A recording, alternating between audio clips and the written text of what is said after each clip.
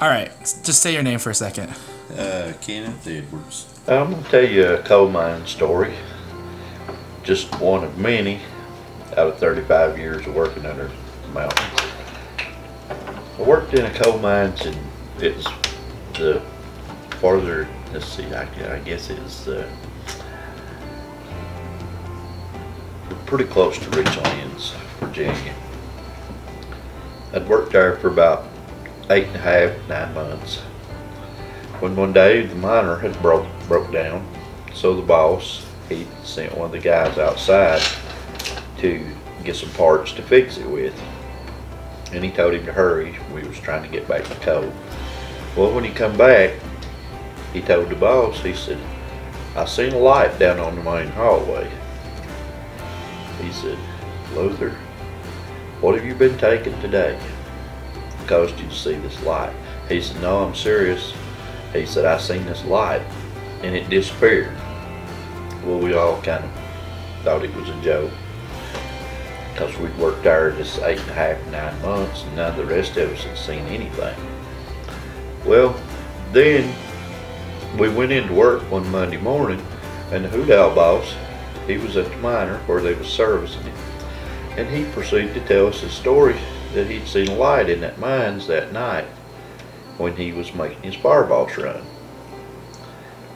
And so we got to thinking, you know, maybe, maybe this guy, he was at himself. Maybe he did see something. But still, nobody else had seen it, just those two people. So we just kind of passed it off. Well, me and the boss, we decided one Sunday evening that we was behind on bolting. He called me. He said, "You want to go in early in the morning? The power's been off at the mines. The hoot owl didn't work. Uh, we'll go in. We'll bolt up a place or two, and it'll help us on producing coal on our shift." So I said, "Yeah."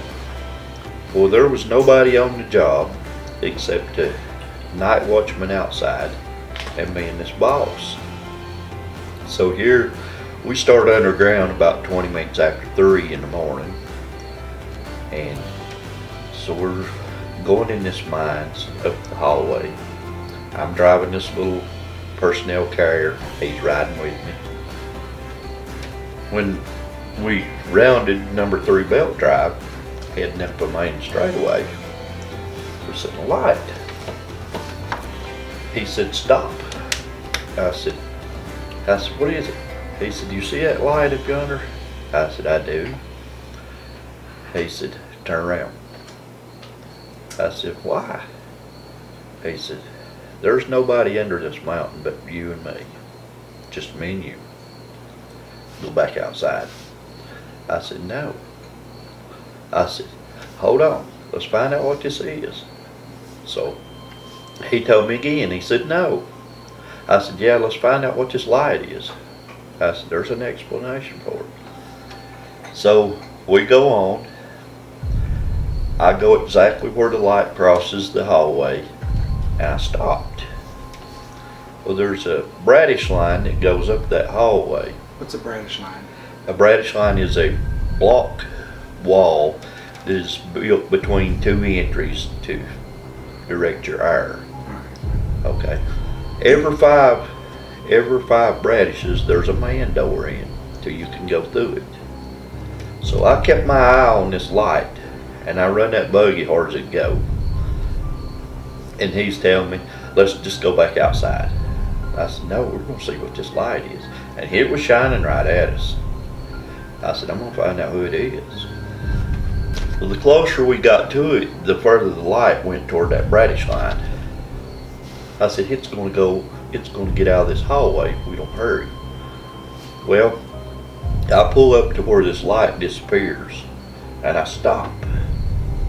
There's no man door in that brattice. There's no tracks in the dust. And there's no light. The light just went away. Well,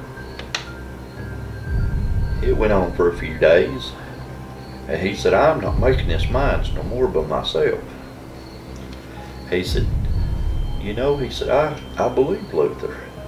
He said, "For I seen this light with my own eyes." I said, "Well, I did too." So we mined there three or four months longer. They hired a new guy there. Well, this guy had worked in this mines before we worked, worked there. We was telling him about seeing this light. He said, "Oh, y'all seen the light down on the main hallway down here?" I said, "Yeah." I said, "What is that light? Have you seen it?" He said, "Oh yeah." He said, "There used to be an old section drove up in there years ago, and they had a roof fall, and two pinner men got covered up with rock, and it trapped his buddy." So this guy that weren't injured too bad, he had come out of the place hollering for help. And he had crossed that hallway to try to find somebody to help him. And he passed away too. He was in that bad a shape. So that explained to us why we would see that light. And you'd see it in the same place every time it was seen. And it would go out there. You wouldn't see it no more. So I told Willard that that was our boss. I said, well, that explains now why you see that light in that area of the mines. And uh, they were still seeing it there when we quit. it was pretty wild. Do you believe it was what it was? Yes, I believe it was. Yeah. I believe it was a, I believe it was a signal to show people that this miner that was not dead was really looking for some help, hollering for some help for his. But uh, just about everybody at that mines after that had seen this light at some point in time. So he weren't just one or two people. And uh, I said, well, that just goes show you, you know, sometimes if you just stay right after something, you can find out what it is. But if they hadn't hired this new guy that give us this information, we'd never know what that light was. Is the mine still open? No. No, it's closed. But it was pretty wild. It was pretty eerie. I'm not kidding. It, uh, in a way, he asked me, he said, don't that bother you? I said, yes, in a way. But I want to know what it is. And uh, so we finally, we finally got an explanation of what it was. Really cool. but it was scary. You know, it was something to think about.